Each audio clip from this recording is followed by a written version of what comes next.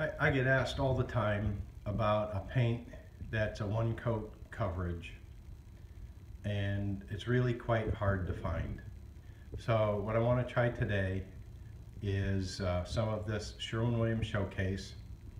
Has a new and improved formula and um, has excellent coverage and hiding power. So I want to give it, put it to the test. I have this gray paint in here. It's an eggshell color and I painted um, this wall. We're doing this remodel. Painted this wall with it. And what happened, I built that valance up there also. And I had to do some extra work on that part of the wall and painted the valance the color of the rest of the room. But I, it looks ugly, so I'm gonna paint the valance the same color as the, the rest of the wall, the gray. So I wanna see what happens. And I think what I'm going to end up just um, brushing this whole thing because there just there doesn't seem to be enough to uh, get the roller out. And you see something else here. This is a decent sized brush, little three inch brush, stainless steel um, when I dip my paint in the can, I just tap it on the side because I still want a lot of paint on my brush because I, I want to get it up there.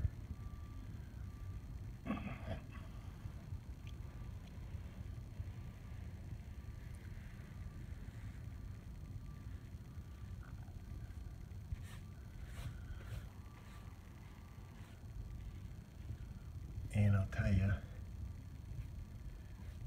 it's okay hiding, not excellent.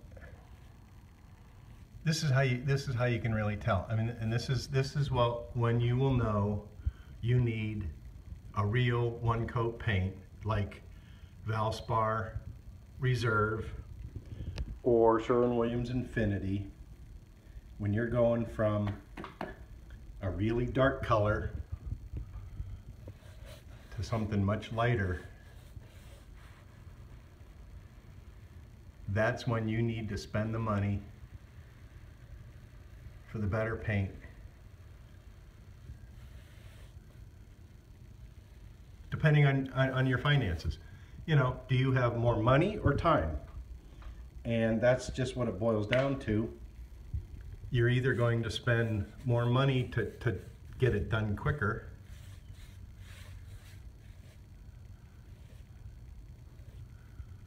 you going to spend more time getting it done. Boy, I'll tell you, hmm, I have to wait until it dries. That looks like pretty good coverage right there. And once again, you know, lay it off, but leave a good amount of paint on the on the wall. Okay, and, and it's looking like complete coverage. So I'm gonna I'm gonna finish it up, and um, I'll get back to you when this is dry.